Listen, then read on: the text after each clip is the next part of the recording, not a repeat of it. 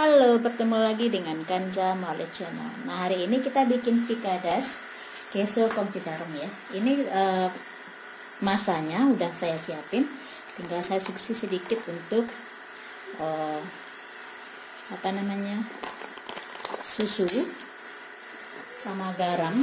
Nih garam ya, saya kasih garam. Si garamnya terserah ya mau berapa ya, asalnya keasinan aja sekarang tinggal saya mix dulu sampai dia nanti termix. Habis itu kita lanjutin ya. Udah seperti ini tinggal saya buatkan aja.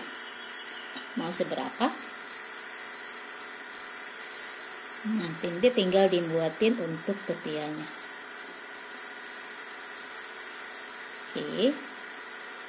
Sekan dulu ya.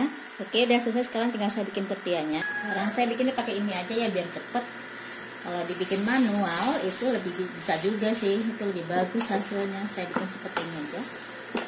Oke. Beberapa tipisnya selesai. Seperti ini. Sekarang tinggal saya panasi saya bakar ya. Ini saya kasih minyak spesial untuk itu ya. Jadi saya kasih sedikit untuk uh, alas uh, apa sih? Untuk dilumurin ke dalam uh, wajan. Nah ini dikasih sedikit minyak ya. Untuk wajannya ini. Saya gunakan yang seperti ini oke nah baru sekarang kita begini di atas.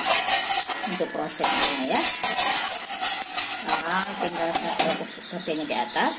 Nah kalau udah seperti ini kita taruh atasnya ya. Udah seperti ini nanti tinggal dibalik aja kalau dia udah berubah warna.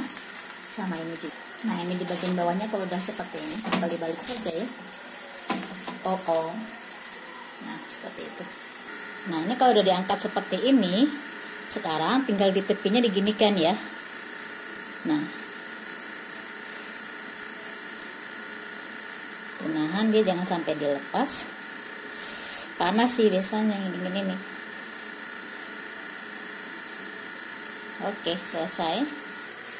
Nah kalau udah seperti ini kan udah selesai nih ya. Tinggal dikasih untuk oilnya ini kasih sedikit seperti ini di atasnya.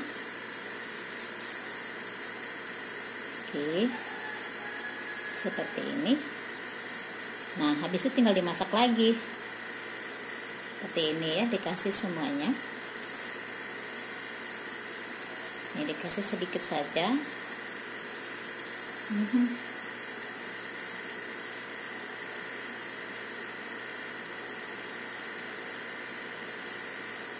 oke. Nah ini sampai semuanya ya. Nanti sampai selesai di situ dimasak lagi. Oke ini saya masukin dulu aja.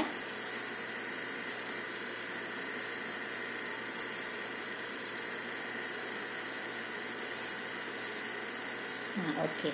Nah ini saya memakai uh, salsa yang saya bikin sendiri. Nih ya.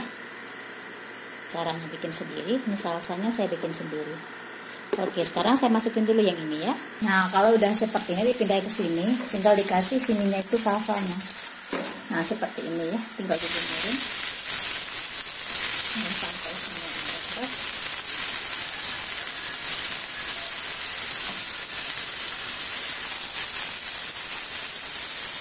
Ya.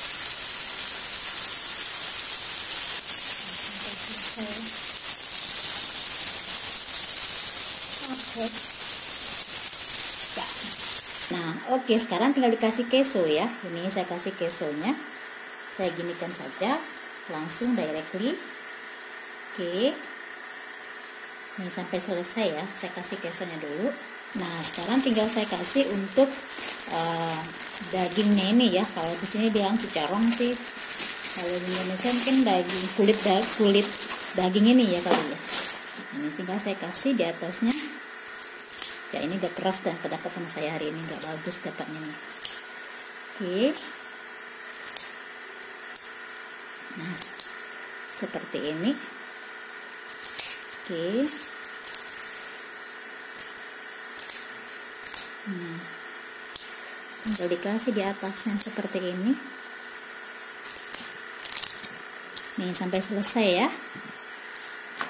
Nah oke okay guys ini udah selesai ya Nah, inilah dia picadas keso kong cicarong yang kita bikin hari ini. Simpel kan bikinnya nggak susah dan tinggal dinikmati saja. Oke guys, terima kasih banyak telah menonton. Sampai bertemu di video berikutnya dengan Kanza Melalui Channel. Sampai bertemu di video berikutnya. Jangan lupa subscribe, like, dan komen. Terima kasih banyak. Salam, bye.